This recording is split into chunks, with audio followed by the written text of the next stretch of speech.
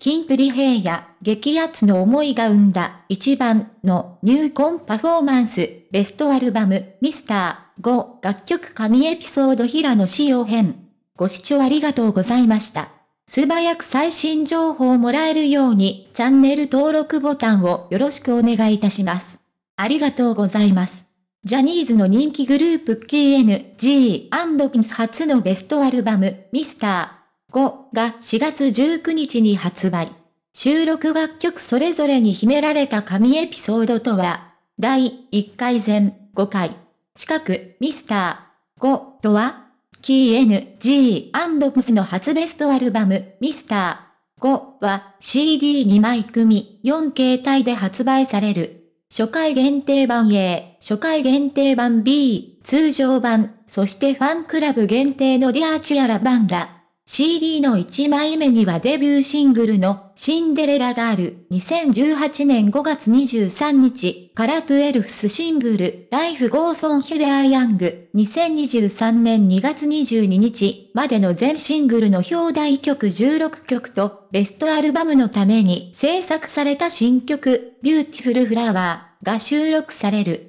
CD の2枚目には、4つの形態それぞれのテーマに沿った楽曲が収録されるという豪華なラインナップ。全4形態、合計57曲それぞれに、メンバーとティアラの間にあったたくさんのエピソードと思い出が数多く詰まっているはずだ。キンプリがベストアルバムを発売すると聞いて最初に思ったのは5月23日のデビュー5周年を迎えるにあたってのお祝い事の一つとして前々から予定していたものだったのではないかということでした。昨年、2022年の春にグループ初のドームツアーを開催した時のツアータイトルがミスターでしたし5周年の今年はミスター。5、節目の10周年にはミスター。10といったようにお祝いをしていく未来を描いていたのではないでしょうか。メンバー5人、5周年、デビュー日に目標に掲げた5大ドームツアーの実現など、5という数字にたくさんの夢が詰まっていたかもしれません。5人のキンプリとしての集大成として、宝箱のようなアルバムになると思います、と語るのは、テレビライターの花井厚美さん。そんな花井さんにキンプリのメンバー5人、それぞれを象徴する神曲のエピソードを紹介してもらおう。四角平野仕様の魅力、平野仕様さん26はグループのセンターとして常に先陣を切るように様々な挑戦をしてきました。主演ドラマや映画の主題歌がシングルカットされ、作品の番宣でテレビ番組にも数多く出演しました。雑誌の表紙での起用も多く、1年間に発売された雑誌で一番表紙を飾った回数が多かったタレントに贈られるカバーガール大賞のメンズ部門で3年連続で首位を飾り、殿堂入りをしています。ハスキーな声と確かなダンスパフォーマンスを武器にグループを牽引してきました。花井さんイコール以下どう？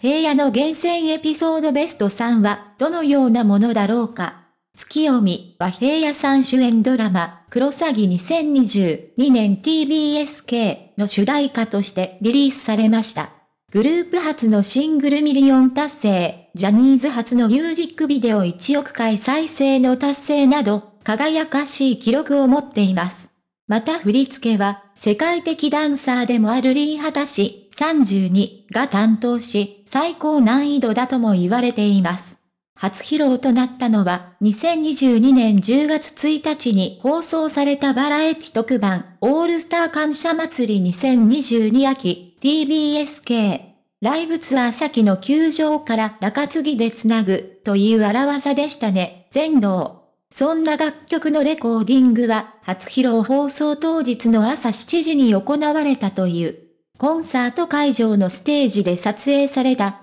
ためモニター映像、ライティング特攻で花火も使用するといった本格的な舞台映像となっていました。月読みは音楽番組で何度も披露していますがこのクオリティを超えるものはないですね。ドラマの世界観を表現した楽曲ですし、ダンスはメンバー全員が個性を持ちつつも要所でピタリと合わせてくる。上から目線になりますが、メンバー全員のダンススキルは相当上がっていますよね。素晴らしいです。全能。四角平野仕様のプロデュース楽曲、フォーカスは、平野さんプロデュースの曲で、新型コロナウイルスの感染拡大によって閉塞感と不安しかなかった時期に、聴いている人みんなの背中をトントンしてあげたい、寄り添いたいという気持ちで制作されたと言います。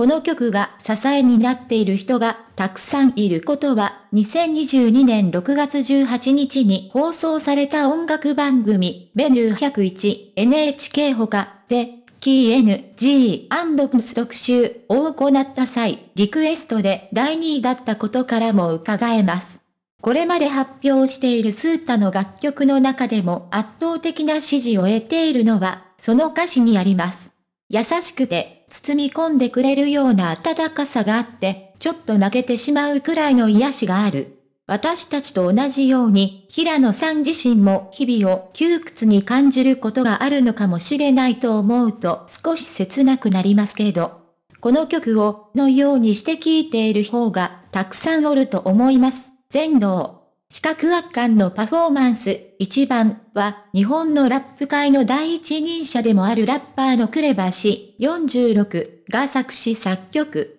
振り付けはこちらもまたリーハタ氏が手掛けています。アルバム、メイドイン2022年6月29日の表題曲として発表され、TikTok での総再生回数は10億回を突破。グループの公式 YouTube チャンネルでは、楽曲のダンスプラクティス動画も公開され、数多くのアーティストが続々とダンスカバーをするなど、話題性も大変高かった一曲です。平野さんがクレバさんを敬愛していて実現したという熱い一曲で、その熱量は歌詞はもちろんですが、ダンスにも反映されています。人差し指を天に向けて突き上げたり、背中見せてほらついてきてねと言わんばかりの力強い振りに納札されましたよね。2022年の年末に放送された第73回 NHK 紅白歌合戦 NHK での披露は圧巻でした。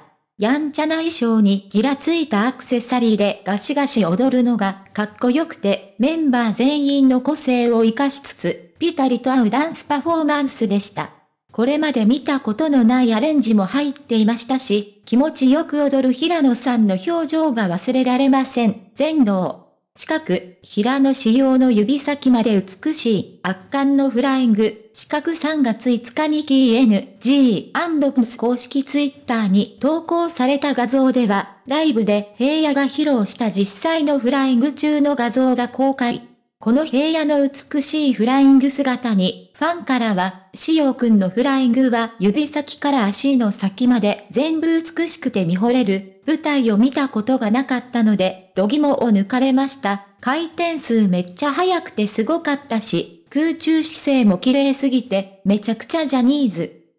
って感じしました。せいで見てて圧巻でした。というように絶賛の声が続出していた。平野志陽さんプロフィール1997年1月29日生まれ、愛知県出身。圧倒的なセンスのダンススキルや歌声を持つ一方、チャーミングな発言とのギャップで多くのファンを魅了する。ご視聴ありがとうございました。これからも一緒に応援していきましょうね。チャンネル登録をよろしくお願いいたします。